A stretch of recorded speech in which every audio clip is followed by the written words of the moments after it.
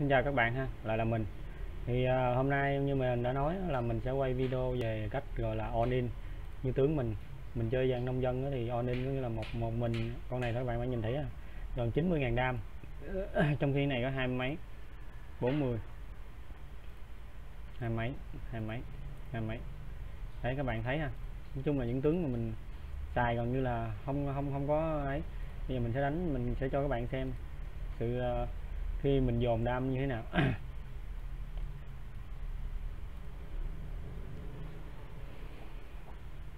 Đây mình sẽ cho các bạn xem dòng đam ha.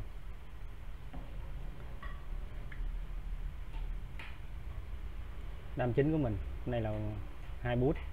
Này là hai đam phụ rồi con bút chưa kịp bút luôn.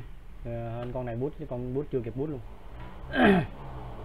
Thì con bút quan trọng nhất là con ờ, đinh quan tiên các bạn ha chưa kịp bút cái nào luôn. Chết à nói chung là do cách sắp xếp đội hình thế nào là do tùy tùy mỗi người các bạn. Ở cái này thì nó mấy nó để mình à, bấm qua mình à, test cái à, cái hơi khó khó chút đó, nó nó mới thấy rõ.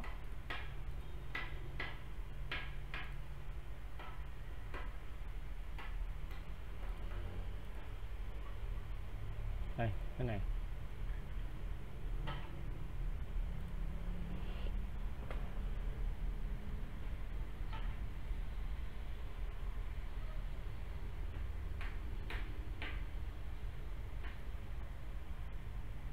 Nó chết hết mà bạn để ý ha.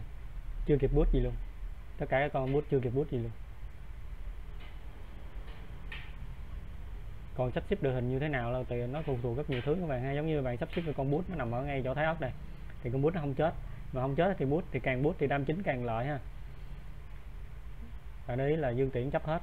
Đó, cái con chính của mình còn sống. Đi đi đi map là cứ con này còn sống thì cứ qua màn qua màn thôi. Còn việc này sao thì sau này mình đánh lại cũng được thì hiện tại mình cứ cần qua màn đó các bạn để ý đó. qua màn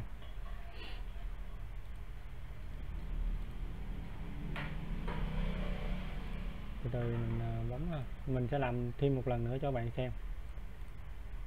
Chung chỉ cần đâm chính sống thôi.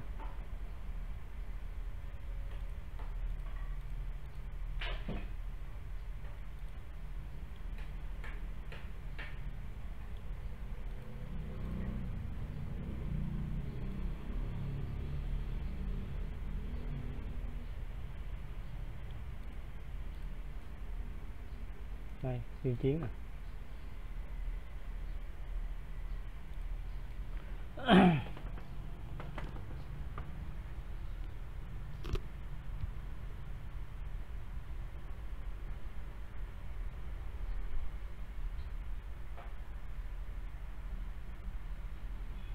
À, hai bút chưa kịp bút luôn. Nói chung đó, con bút mà nó bút sớm cho mình đó, thì à, mình có lợi các bạn ha các bạn chú ý chỗ đó thì sắp xếp đội hình thế nào trong đó mà còn một chấp 4 các bạn ha? Mình coi dương tiễn một chấp 4 z 2 còn một chấp 2